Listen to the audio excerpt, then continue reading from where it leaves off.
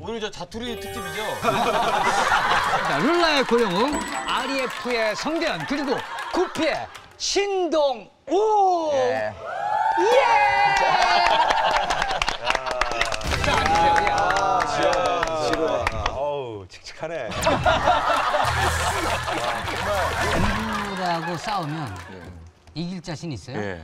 형 나랑 싸우면 이겨? 자, 굉장히 자, 자, 잠시만. 수준이 낮아요. 자, 자, 어, 어. 저도 형은 이길 것 같아요. 야, 나와봐, 나와봐. 나 이거 자꾸. 나, 내 별명이 완판지 수비강냉이야. 강냉이 다 못하게?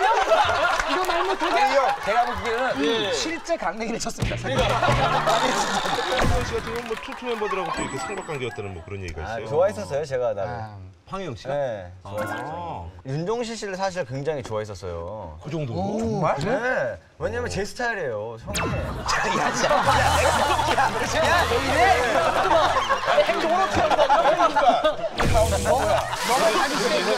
나를 가장 훈훈하게 만든 사람. MC 몽.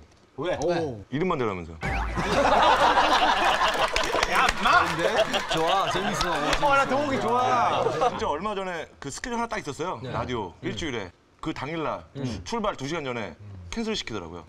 몽이가? 예, 작가, 타, 작가 타서 돌리고. 신동 씨한테 옛날에 한번 맞았대요.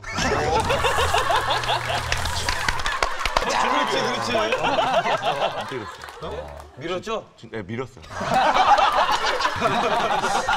사우나 가면 자꾸 이렇게 이렇게 다리가 뜨거워요. 그럼 이렇게 남의 다리에서 오줌을 싸세요. 이제 음악 얘기 한번 해볼까요? 네. 너 개야?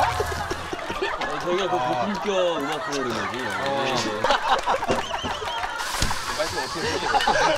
네. 작은 얘기들. 아니, 뭐 물어봐 주세요. 오늘 이게 방송에 과연 나갈까요? 나가요, 나가요, 나가요. 없어. 나가요. 아직 뭐 거리가 제가 얘기를 할게요. 이게